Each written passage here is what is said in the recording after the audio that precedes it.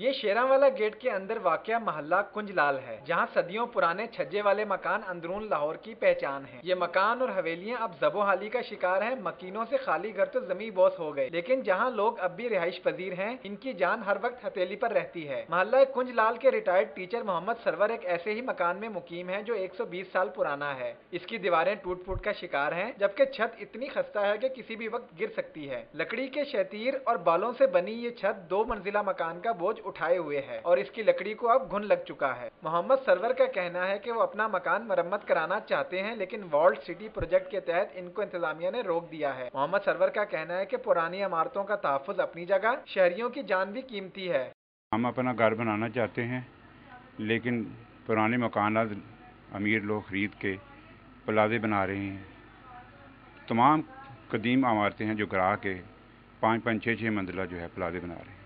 और हम गरीब लोग हैं, हमें अपना घर नहीं बनाना, बनाने दे रहे। और यही कह रहे हैं जी यूआर सिटी पे पाबंदी लगी हुई है, आप अपना घर नहीं बना सकते। साथ वाला मकान जो है, वो गिर चुका है, कुछ गिरने वाला है।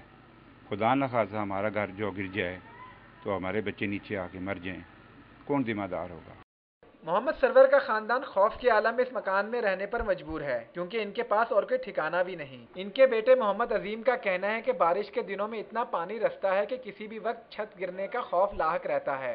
हम यहाँ के रहशी हैं, ठीक है ना? तो हमें जब बारिश पड़ती है तो हमें बहुत खौफ आता है, कहीं हमारा मकान गिर ना जाए। तो हम यानी कि इसी कोशिश में हैं, और साथ में अबू भी हैं, कि हमारा कहीं मकान भी हमारा बन जाए। छोटे छोटे कमरे हैं, हम यहाँ पे बड़ी मुश्किल से गुजारा कर रहे हैं, और यहाँ पे मेहनत करके अपना कारोबार कर रहे हैं।